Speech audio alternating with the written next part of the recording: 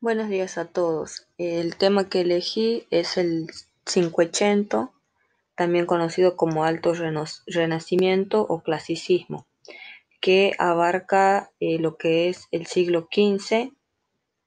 Eh, en, este, en esta etapa, como podemos ver, eh, el Renacimiento se da en Italia, donde las ciudades principales en un momento donde se crea el foco artístico de Florencia y en esta etapa, eh, en el siglo XVI, eh, pasa a ser Roma.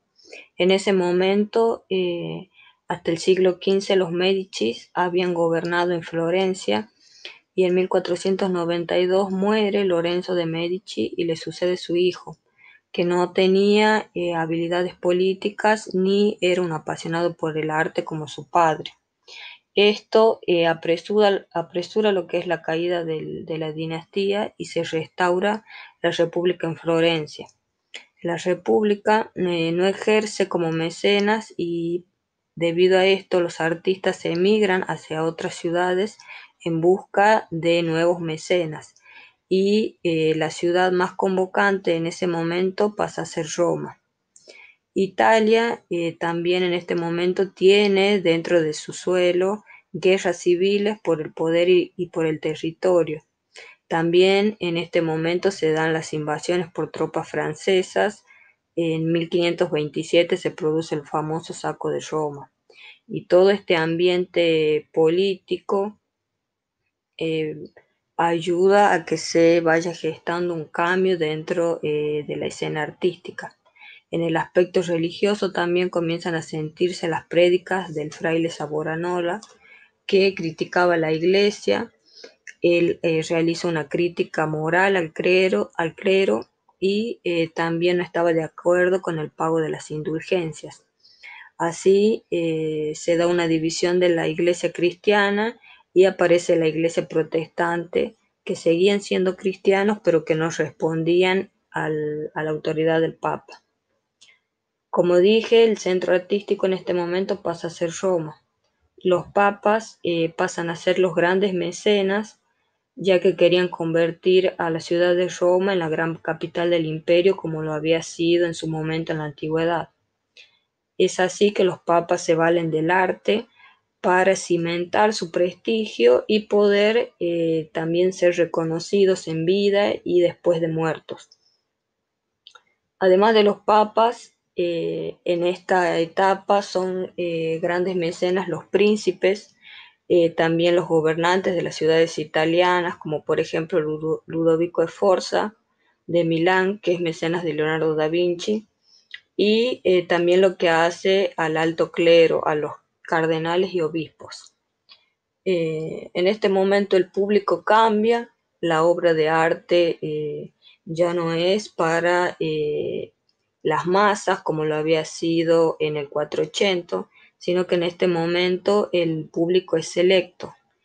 Hay un público eh, intelectualizado porque la obra empieza a tener un contenido simbólico eh, en relación con la literatura y la filosofía, por lo que el arte en esta etapa pasa a ser eh, un arte para una minoría selecta.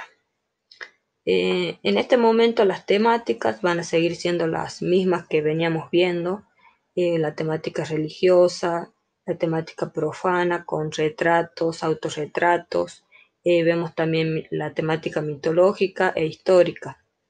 Lo que sí, la mayor producción de arte se va a dar en el tema religioso se produce eh, la unión entre la ciencia y el arte, ya que los artistas en este momento tienen una mayor eh, preparación, hacen estudios anatómicos de la figura.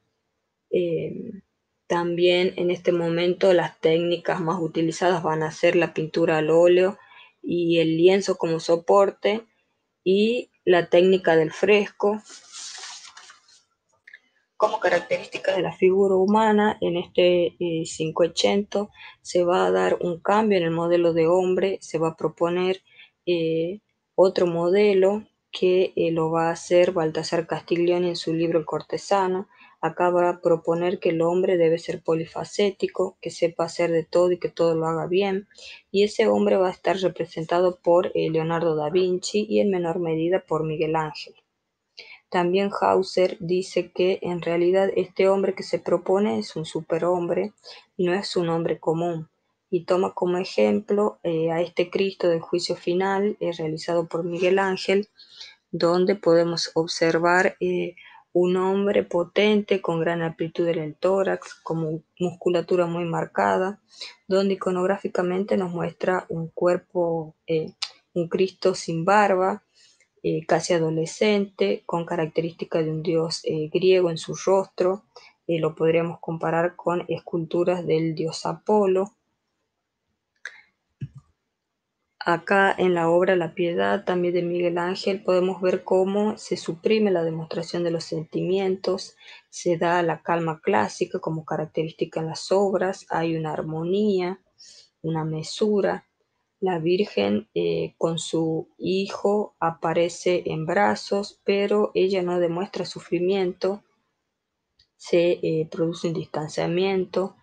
Eh, también la representación de Cristo no aparece doliente. Dentro de esta composición se destaca la base ancha y cómo termina en un vértice. La composición piramidal es muy utilizada en este momento. Si la comparamos con esta obra de Botticelli del 480, eh, podemos ver esa diferencia en el eh, tratamiento de los sentimientos, como acá se puede ver una virgen eh, desvaneciéndose, como expresa su dolor por la pérdida de su hijo. En la obra Dama de Armiño de Leonardo podemos observar cómo el, artista conoce la anatomía humana, Leonardo es un gran dibujante y realiza muchísimos estudios en cuanto a las articulaciones, los músculos de, la anatomía del cuerpo y en este retrato nos presenta eh, un medio cuerpo con un rostro de tres cuartos de perfil y con una vestimenta amplia. También podemos observar eh, la técnica del esfumato, la técnica del claro oscuro, donde los pasajes de los colores son menos abruptos, llevándolos hasta el borde de la figura eh, es un degradé de los claros a oscuros donde la forma eh, empieza a ser abierta. Luego en la obra La velada de Rafael Sanzio podemos ver cómo se presenta este ideal de belleza femenina en cuanto a moda. Se prefiere el rostro natural, desaparece la frente grande, y ya no se usan grandes peinados, el pelo cae normalmente en el rostro, se prefieren las telas lisas de un solo color. Luego, en la representación del espacio, como una de las características principales, eh, tenemos la perspectiva de punto fijo. En esta obra de Leonardo, La Última Cena, vemos cómo la perspectiva marca el centro compositivo y temático de la obra. Acá el eh, punto eh, está en la cabeza de Cristo. La sensación de amplitud crece doblemente, el espacio real eh, se, ve de una manera continua. En el 480, eh, a diferencia de este momento, eh, ya había también un uso de la profundidad, de la perspectiva, pero las figuras siempre se representaban en primer plano y esto hacía que el espacio se estrechara y acá podemos observar cómo en el Alto Renacimiento cambia también con esta obra de Rafael, eh, en el 580 eh, los personajes se corren hacia atrás, se los eh, coloca en este caso como en un semicírculo. También tenemos como característica del espacio la perspectiva atmosférica o perspectiva aérea, donde se observa lo que pasa con la interposición de la atmósfera en la mirada del ojo del espectador los contornos de la forma se diluyen, el volumen eh, se aplana a la distancia, el color se altera y se vuelve azulado.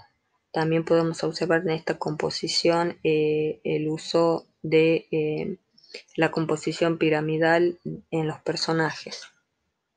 Y por último, la bibliografía que utilicé para realizar este trabajo.